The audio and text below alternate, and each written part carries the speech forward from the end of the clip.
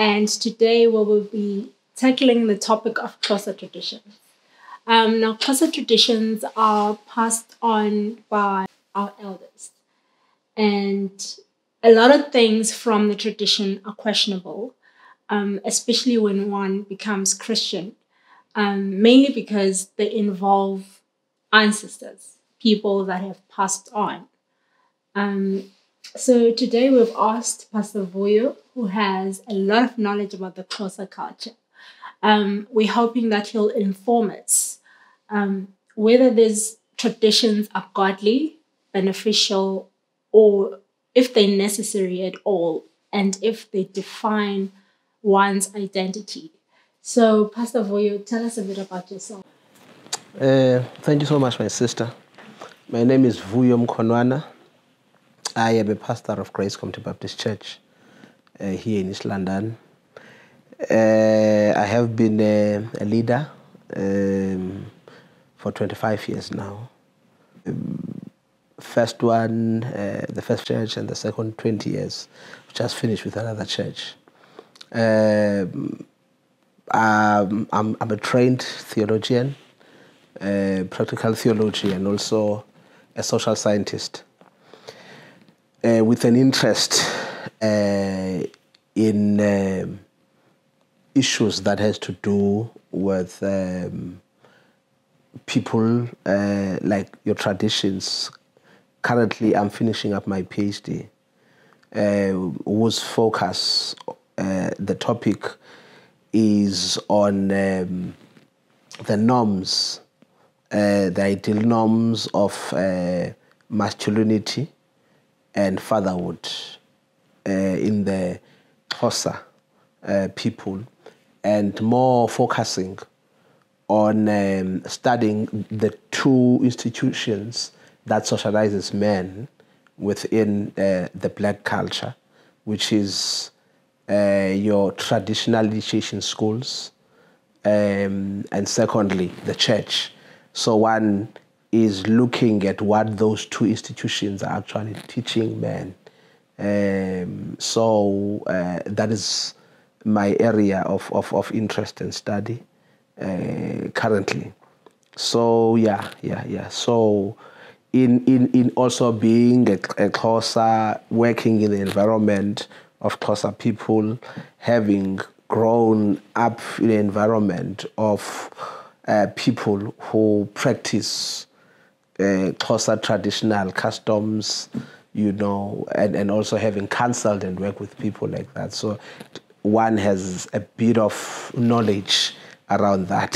So a big part of being umxhosa is amasiko.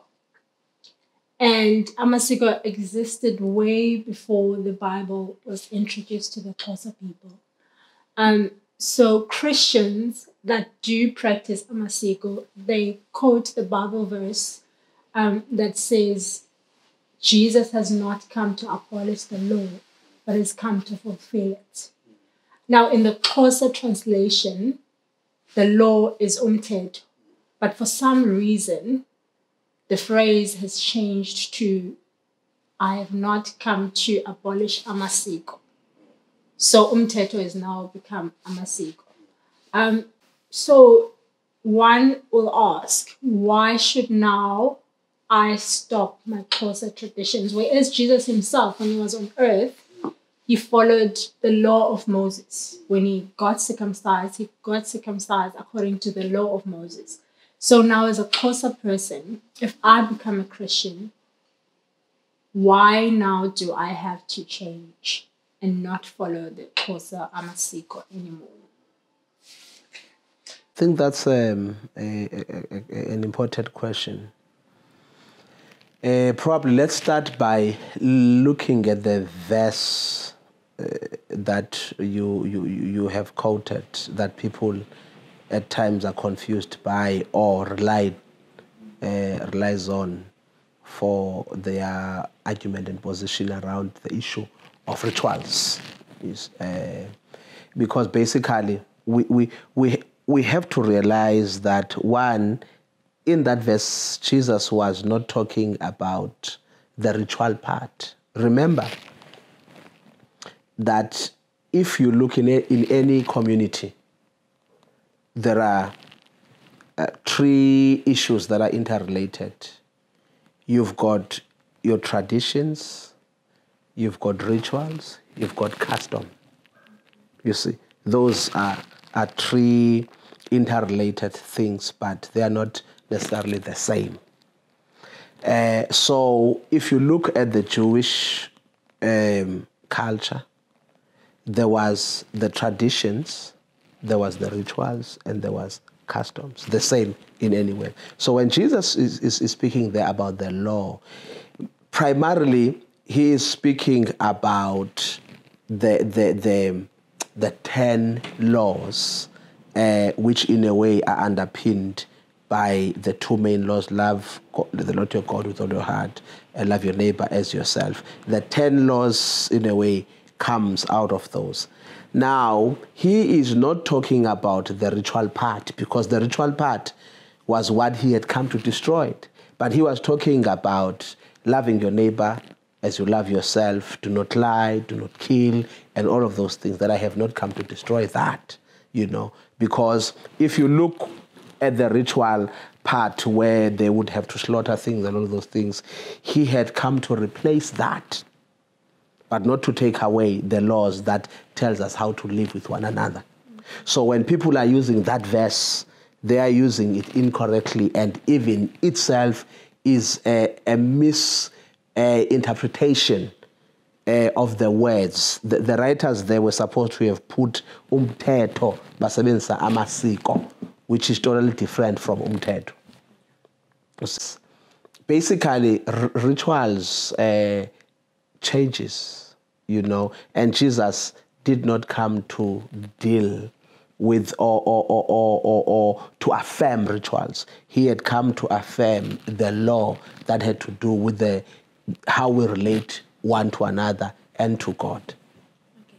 So what you're saying is this Matthew 5 17 is not related to amasiko. No, not at all. Not at all. So, um, as part of your research, I believe that you are researching about the initiation, which is a very big part of the Xhosa culture. Um, so now, when a young man is introduced to manhood around the age of 17, um, he has to undergo a couple of rituals. And when you're Christian now, how do you avoid these rituals? Um, two things.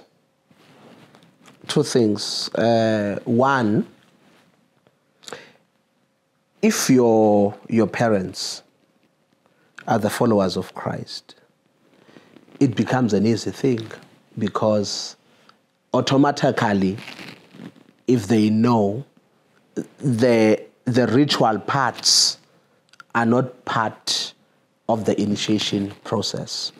We have to remember that uh, circumcision is like your 21st birthday.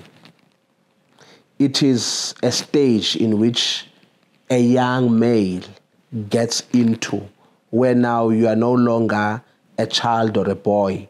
Now you are entering a, an age or a stage where you become a man. So the if, you go back uh, when it's uh, all started, it, it started with one with an intention to take young boys into a secluded place, train them um, by teaching them morals, by teaching them history, by teaching them politics, uh, by teaching them um, um, social values of loving your, your community of protection. And in there, uh, originally, it was a, a, a one year training period, you know. And over time, as a result of the changes that took place, it went to six months, it went to three months, and now basically it's about three weeks. You see, so the, the intention then, it was a training school. There's a, um, a, a researcher up in, in the Free State where he speaks about this, where he says uh, the traditional initiation school was a black people as higher education system.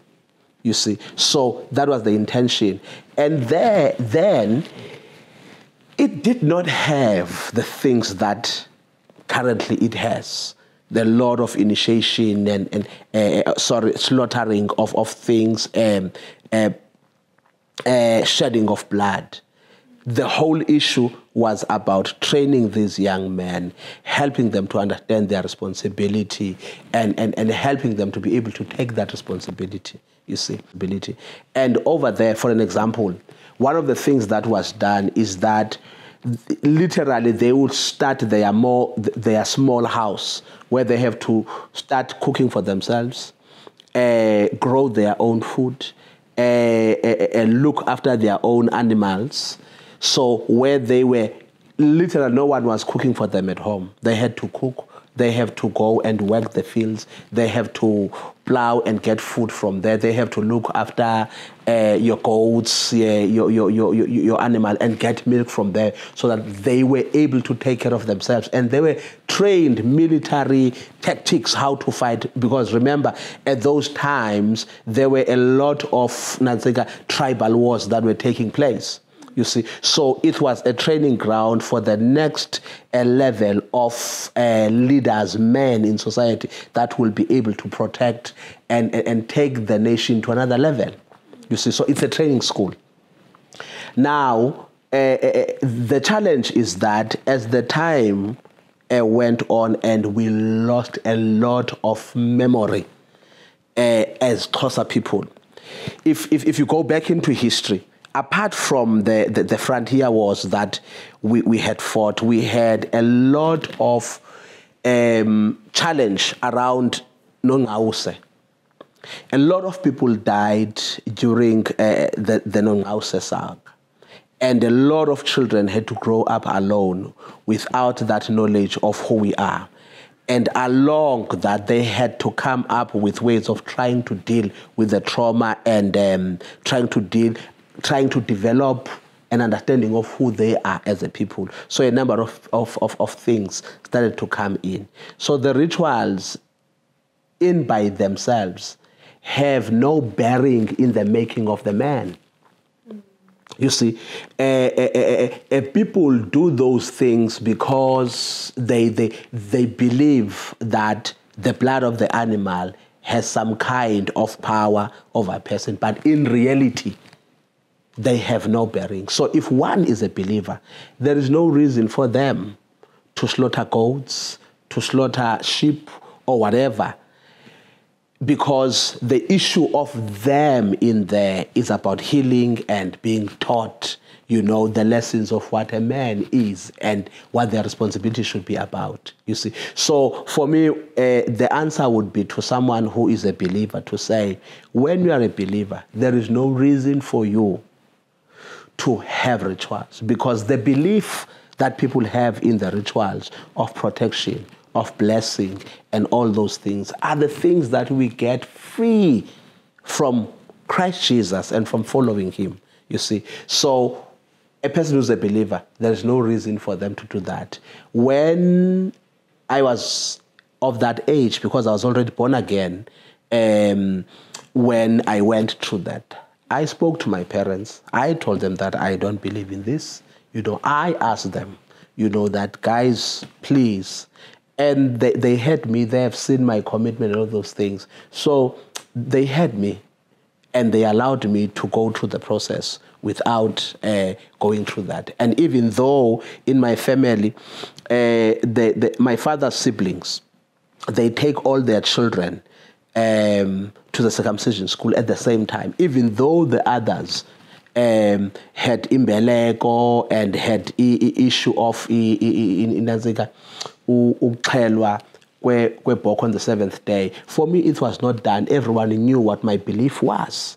You see, so uh, it's important for people to understand that if they don't do those things, they don't have an impact in them. You see, they don't make you a man. And if you don't do them, you will, you will heal because it's simply a wound. But more than anything, what is more important is the teaching that you get there about the responsibility of what it means to be a man or, or, or what it means to be a Xhosa man. You see, so basically that's that's that. Uh, so that's what I constantly encourage uh, young men is to say to them, listen, ask your parent, talk to them, and in that process we pray about it, that the Lord will go before him to soften the hearts of the parents so that they will hear him and understand. And a number of young people are able to go that route. And if your parents then forces you to do that, there are a number of avenues, for an example. One is to not bother yourselves. Allow them to do what they want to do. You take it as a normal meet because remember, anything that happens that creates a bond between you and uh, a spirit being, it happens as a result one of faith. It happens as a result of agreement. When there's no agreement, nothing is going to happen because you are simply taking a, a meat that is given to you. Number two is to simply uses the legislative or the law of the country. I can quote about two cases currently that have been in High Court in South Africa. One, it's, it happened here in, in Bishop of a, a young man from, uh, forgot his first name, but his name is Yamani, whose father forced him, you know, to, to circumcised and he did not want to, to be circumcised because he believed that uh, as a believer in Christ Jesus, he is a man.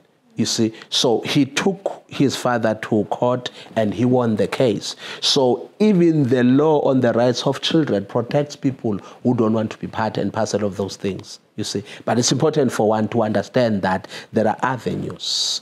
It's talking to your parents, convincing them that you don't want to do this. If you don't want to take this route, you you you follow through and you know that you don't believe in this thing because the reality is just it's simply meat if you don't believe in it, it, it, it has no power over you. You see, so that that is my take, and that is what over the years I've seen, and not just in, in my own life, but in the lives of the people that I've, I've worked with. That if you don't believe in this thing, it does not work. So the truth is this: a goat is a goat. it, it, it does not have special powers to make you a better person. You know, a sheep it's simply a sheep. It has no special powers to make you a person, but it is a faith in something that gives that thing power over you. If you don't have faith in it, it will, it will not have what it is said to have. You see, but as a believer, there is no reason for you to do that because it, it, it, it, it has no impact on you because the blood of Christ has done all the work on your behalf. Um, now, around June and December, yes. um, in the news, we hear a lot of young men dying yes. um, in this process. And in the new generation now, when they come back, if they manage to come back from um, the initiation school, they come back drinking because then they are introduced to alcohol, they are all alone. Um, the people that are supposed to be responsible for them don't have this knowledge that you're talking about now. So, which obviously means now a lot of darkness has infiltrated this, this culture. So, now how then do we educate um, South Africa about? about? Yeah there, there are two main issues for me in this. One is the fact that one of the major problems that we have as a black community is that we have lack of responsible men, a huge one. And that is the result of a number of reasons, you know, um, that even though those reasons are there, we, we, we, we, we don't say it's okay uh, that men uh, runs or abdicate their responsibility. Uh, secondly, is that we need to see the church being more involved. More involved in two ways. Getting more involved, one, in educating young people about the culture itself. What is this culture? about. You see, is this thing wrong? Is this thing um, right? One of the things that I've come to realize, and all the research that I, I, I have studied around this thing, is that, and also my experience of interacting with young people, there are point uh, one percent chances of discouraging a Xhosa okanye a, a South African male who whose culture practices circumcision uh, from not doing it because there is a lot of stigmatization, a lot of negativity, a lot of rejection when one does not go through that process. So, uh, and unfortunately, the issue of rejection is personal. The issue of, of, of, of, of, of, of being called names it's personal. So when a number of young men go through these things, they go through these things because they run away from that, being called names in the communities and all of those things. So they are willing to put that, uh, to put their lives to go through that because every black male in South Africa does that. Now, then the responsibility of the church then enters in, in one, in educating them about what is this thing um, how should you take care of yourself in this thing? Secondly, when they are there in the bush, for other male to go in there as teachers, to go in there to teach. For an example, uh, I've got a, a, nephew that currently, as we speak, Ungumkwet. He's not alone, he's got four other boys. So my responsibility, while I have asked two guys who, who are accredited uh, nurses to look after them, I go every day to teach them. You see, pray with them, give them the support that they need. You see, so that is one of the fundamental issues that the church have to realize is that circumcision will not be gone tomorrow while it is here, what do we do? Because as you are saying, and correctly so, my sister, is that these young young men, while they are teenagers in our church, they are committed. They love the Lord. They go there. They come back smoking. They come back lying. They come back sexually active. They come back. Some of them even in drugs. So, in order for us to save them and, and, to protect them, is that when they go there, we must follow them and make sure that every day we are there to continue the influence so that they, they are not changed. Because what happens in our community is that when it is circumcision times, even guys that we know that have no direction in life, you will find them there. Why? Because when someone is in the bush, there's food there's a, it's a space where young men go to. It's a fun place. So these guys, they go there for food because in the township, they don't have food. In the township, they, they don't have access to, some of them, they don't even have places to sleep. So while you are there for, for those three, four weeks, there's food, free food. So they go there to get that food. And in that process, they bring their dagga, they, they bring their, their, their booze, they bring their drugs and they begin to teach these young males because they are vulnerable while they're there and teach them things that are not true. So the church must get in there and begin to teach the children the truth.